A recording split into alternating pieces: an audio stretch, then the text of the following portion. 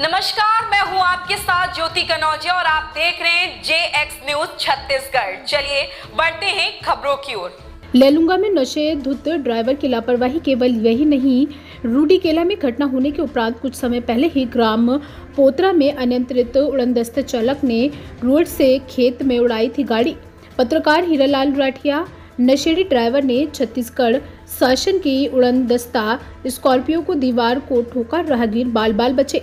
लेलुंगा से बड़ी खबर निकलकर सामने आ रही है। जानकारी अनुसार लेलुंगा थाना क्षेत्र के ग्राम रोडुकेला अटल चौक मोड़ के पास स्कॉर्पियो उड़नदस्ता का दल छत्तीसगढ़ शासन की गाड़ी सी जी एक तीन ए यू ज़ीरो चार चार शून्य ने दीवार को ठोकर मार दिया है। ग्रामीणों व प्रत्यक्षदर्शियों ने बताया कि अनुसार छत्तीसगढ़ शासन की उड़नदस्ता लिखे हुए गाड़ी क्रमांक सी जी एक तीन ए यू शून्य चार चार शून्य का ड्राइवर नशे में होने के कारण घटना का होना बताया जा रहा है। ड्राइवर के नशे में गाड़ी चलने से बड़ी वारदात होने की संभावना से इनकार नहीं किया जा सकता है। घटनास्थल पर खड़े राहगीर बाल बाल बचे हैं। गाड़ी में सिर्फ़ ड्राइवर गाड़ी चला रहा था। घटना के बाद ड्राइवर जैसे तैसे लोगों से बचने के लिए मौके से भाग निकला अब दे, आगे देखना होगा कि इस प्रकार की लापरवाही पर प्रशासन व चुनाव आयोग क्या कार्रवाई करती है।